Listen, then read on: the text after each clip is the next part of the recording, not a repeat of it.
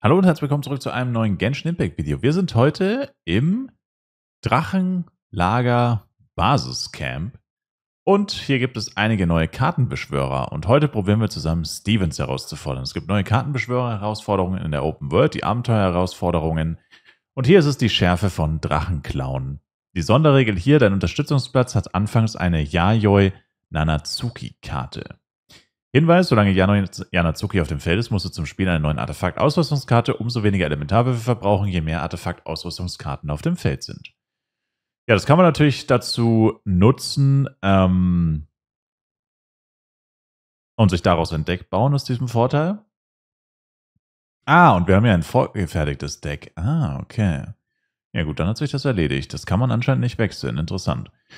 Die Bedingungen, wir müssen siegen, wir müssen innerhalb von sechs Runden siegen und es dürfen keine zwei Figuren ohnmächtig werden, sonst kriegen wir nicht alle Glücksmünzen. Dann würde ich sagen, let's go. Unser Team ist sehr interessant. Wir haben Kaya, Dwalin und die Elektrohypostase. Das ist auf jeden Fall ein Mondstadt-Team. Alles drei Gegner oder Figuren, Character, whatever aus ähm, Mondstadt. Yayoi Nanatsuki ist doch schon auf dem Spielfeld. Wieso haben wir sie jetzt nochmal auf der Hand? Okay, ich lasse sie jetzt mal da. Kann man die dann zweimal ausspielen, oder was? Ja, sie ist ja schon hier. Moment mal. Ich würde sagen, wir fangen mit der Elektrohypostase an. Ähm, hä? Ich bin dezent verwirrt. Hm. Hätte ich doch lieber mit Kaya angefangen. Also was macht sie jetzt nochmal? Würfelverbrauch minus 1 beim Ausspielen einer Artefakte. Zusätzlich für jede deiner Figuren wird ein Würfel weniger verbraucht. Einmal pro Runde. Wenn ich sie zweimal ausspiele, geht es halt zweimal pro Runde, okay. Okay. Interessant. Naja, jetzt machen wir erstmal das hier. Ist das hier Welle 1 von 2 oder was? Oder ist das jetzt schon das Ganze? Es wirkt recht einfach. Wenn ich das mal so sagen darf.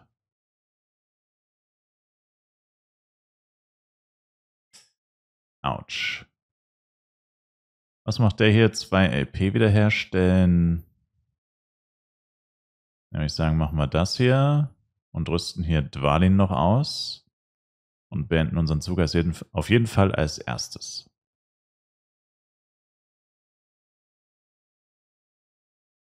Diese zweite Elementarfähigkeit, oder nee, ist, der hat nur eine Elementarfähigkeit, ne?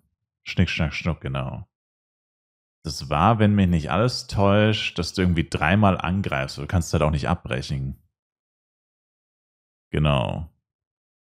Du machst quasi zwei, zwei, drei, also insgesamt sieben Schaden, aber du kannst halt währenddessen noch einfach getötet werden, theoretisch. Hm. Oder halt lieber die Beschwörung. Hm. Na gut, erhöht den Würfelverbrauch des Gegners, das ist in dem Fall relativ egal. Was macht der denn? Der macht jetzt drei Schaden. Aber dann würde er ja wechseln. Also werde ich ja eigentlich fertig werden. Eins, ja, ich glaube, dann würde ich sogar fertig werden, oder? Jetzt greife ich nochmal an. Und dann wechselt er ja. Er ist halt ein bisschen verschwendet, weil der Typ hat halt nur ein Leben, ne? Das war jetzt, ja. Okay. Ja, und jetzt stirbt unsere. Ah, nee, und jetzt ist sein Zug beendet. Okay, no, mind, dann hat es ja sogar gepasst. Genau, dann können wir jetzt noch auf Dwalin wechseln. Was macht seine, was ist das hier? Äh, ah, okay. Sein Debuff.